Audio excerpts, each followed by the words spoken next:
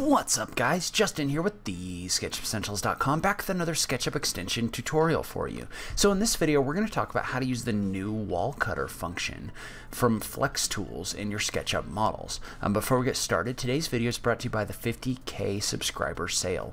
So last week I hit 50,000 subscribers on this channel. As a celebration, I'm running a promotion on the SketchUp Essentials course where if you purchase the course through the end of this week, not only do you get a copy of the course, but you also get a personalized model review of a model of your choice. So you can upload a model that you've created and then I'll take a look at it for things like best modeling practices and things that you could do better in order to really take your SketchUp modeling to the next level. And then I'll send a report over to you um, just telling you kind of some things that you can focus on. So if that's something you're interested in, make sure you check that out at the sketchupessentials.com slash 50k.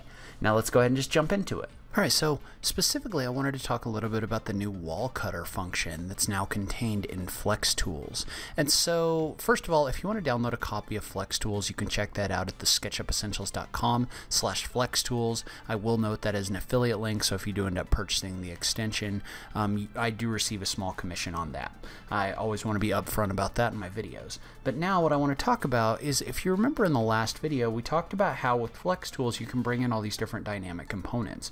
And they could already cut holes in single single walls. So you can see how I had a wall in here, all the geometry was grouped, and if I was to place this in here before, it would go ahead and it would place this in the wall. So this would act as kind of a cut component.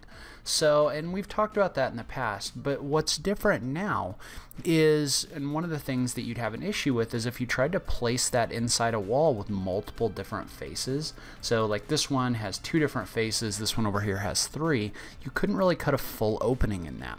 Well, what Wall Cutter does is it allows you to basically cut dynamic openings in multiple layered walls. So like for example, if I was to take this same window and I was to try to drop it on this face, you can see how it wouldn't cut all the way through both walls because it's only placed in this first wall and uh, the face cutter functionality only really gave you the ability to cut through one group of geometry.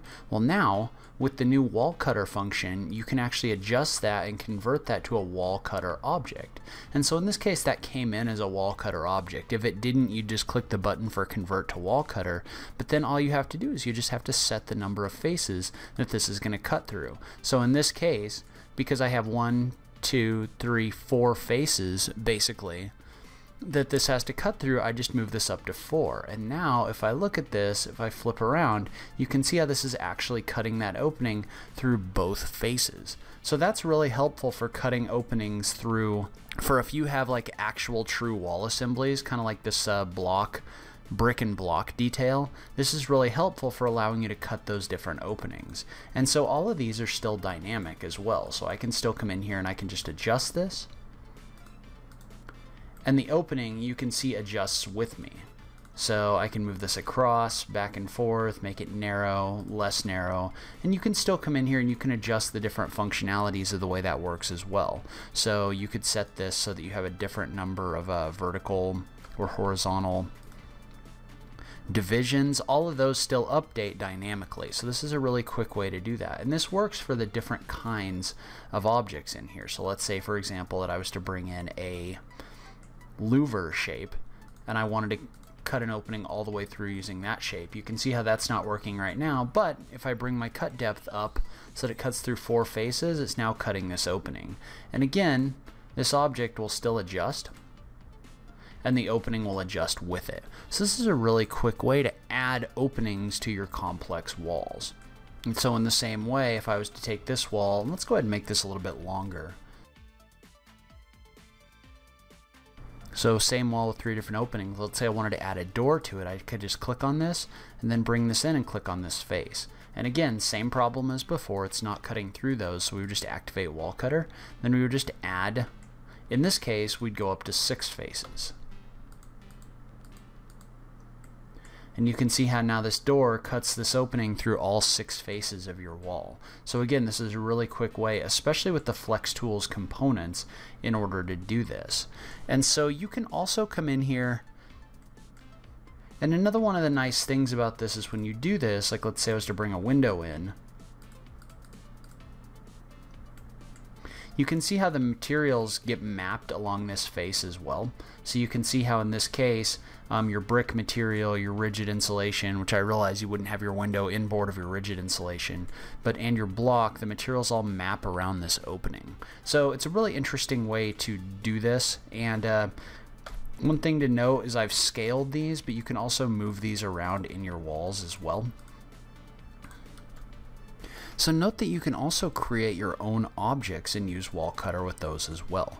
So in this case, let's say for example that I wanted to create just like a uh, four foot by four foot window, just something very simple.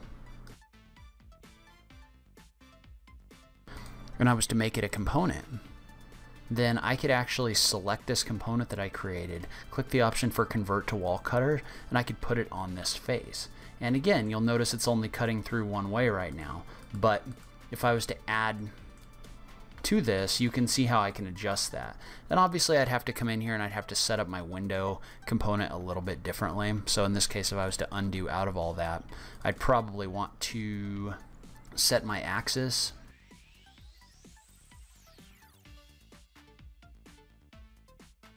a little bit differently, but you could still convert that to a wall cutter and you can see how now that my axis is on that front face, it gets placed inside this face. But you can see how again, this is really simple with your own objects. And if you move those around, the opening is going to move around with that.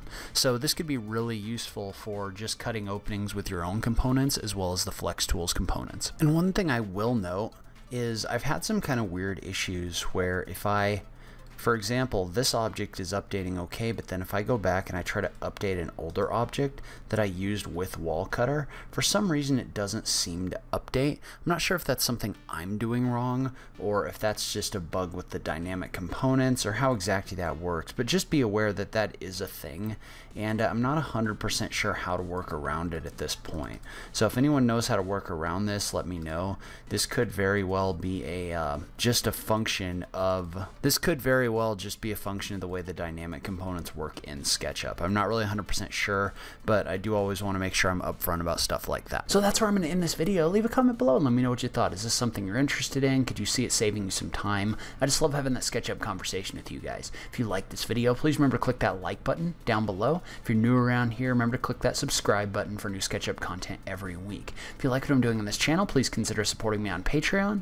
Every little bit helps, even if it's only a dollar a month. So make sure you check out link in the notes down below. But in any case, thank you so much for taking the time to watch this. I really appreciate it, and I will catch you in the next video. Thanks, guys.